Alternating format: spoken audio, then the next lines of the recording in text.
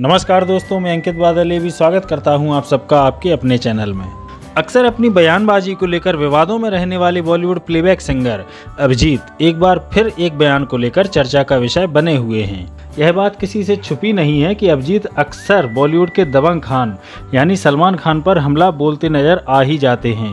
हाल ही में अभिजीत ने सलमान खान को अपनी आवाज़ देने पर एक बयान दिया है, जिस पर सलमान खान के फैंस काफ़ी नाराज़ नज़र आ रहे हैं और मामला खिंचता हुआ नज़र आ रहा है। क्या हो क्या रहा है? समझ नहीं आ रहा जैसा कि आप सब जानते ही हैं, अभिजीत ने सलमान खान के लिए ज़्यादा गाने तो नहीं गाए हैं, लेकिन जितने भी गाने गाए हैं, उनमें से लगभग सभी सॉन्ग्स पॉपुलर हैं। चाहे वह बीवी नंबर वन का चुनरी चुनरी हो, या फिर चल मेरे भाई का चोरी चोरी सपनों में आता है कोई। और इन गानों के अलावा भी बागी फ़िल्म के गाने, चांदनी रात है, एक चंचल शोक हसीना, या फिर जुड़वा फ़िल्म का गाना, टन टनाटन, टन टन टारा हो।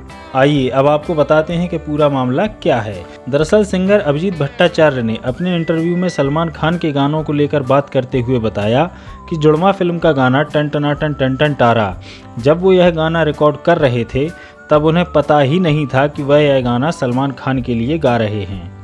अभिजीत ने बताया जब उन्हें गाने के लिए बुलाया गया तो उन्हें पता था कि ये डेविड धवन की फ़िल्म है, और ज़ाहिर है कि डेविड धवन की फ़िल्म है तो हीरो गोविंदा ही होंगे। तो मैंने यह पूरा गाना गोविंदा को ध्यान में रखकर गाया था। टन मैं मेरी आँखों के सामने गोविंदा है। चलते हैं क्या न से बारा? मैं गोविंदा को सोच के गा रहा हूँ। आगे अभिजीत ने बड़ी ही बेरुखी से बताया कि यह गाना मेरे लिए कभी भी एक महान गीत नहीं था। ये तो बस एक इंस्ट्रूमेंट था और मैंने इसे गाया है तो इसमें मेरा नाम आता है। उन्होंने कहा कि मेरा वो गाना है, इसलिए हिट नहीं है, वो तो पहले से ही हिट था। अभिजीत ने बताया कि मेरे गाए हुए बहुत गाने हिट हुए हैं, लेकिन ज़रूरी नहीं कि वो फ़िल्म भी हिट हुई हो। अभिजीत ने बताया कि उन्होंने वो गाना गोविंदा के लिए गाया था सलमान खान के लिए नहीं। उस गाने में उन्होंने पूरे एलिमेंट गोविंदा वाले ही डाले थे। एक बार से दिल अभी मैं गोविंदा को सोच के गाया। पैथे सलमान। मुड़ के देख मुझे दोबारा है। टन टन टन। इसमें हो ही नहीं सकता। सलमान को सोच ही नहीं सकते आप। लेकिन उन्हें किसी ने बताया ही नहीं कि फ़िल्म में गोविंदा नहीं है और फ़िल्म में सलमान खान को लिया जा चुका है। और इसके बाद जब उन्होंने उस पिक्चर में सलमान खान को देखा तो वह काफ़ी निराश भी हो गए थे। आगे अभिजीत ने बताया कि जब से वो डेविड धवन बना है, तब से उसने गोविंदा को छोड़कर किसी के साथ काम ही नहीं किया। डेविड धवन डेविड धवन ने गोविंदा के को छोड़ के कभी काम ही नहीं किया, जब से वो डेविड धवन बना है। जी।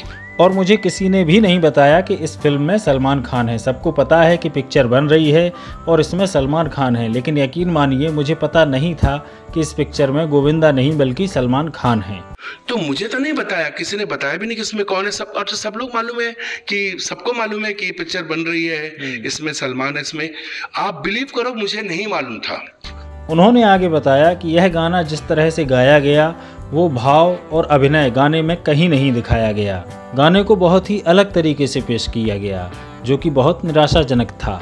आपको बता दें कि सलमान खान के साथ अभिजीत भट्टाचार्य की लड़ाई काफ़ी समय से सुर्खियों में है, और वह सलमान खान के खिलाफ कुछ ना कुछ बोलते नज़र आ ही जाते हैं, जो कि आपको इस पुराने इंटरव्यू की एक क्लिप देखकर समझ में आ जाएगा। सिर्फ़ दुश्मन कंट्री के आर्टिस्टों को प्रमोट करता है। उसने इंडियन सिंगर्स के बड़े बड़े गाने just to show his loyalty towards Pakistan dubbed Indian top singers not एक। उनके गाने किससे गवाए? जो भी हो कबालों से गवाए इससे गवाए उससे गवाया। आप लॉयल्टी किसकी तरफ़ दिखा रहे हो? तो दोस्तों इस बारे में आपका क्या कहना है यह कमेंट करके हमें बताएँ। जल्दी ही मिलते हैं अगले वीडियो में तब तक के लिए नमस्कार जय हिंद।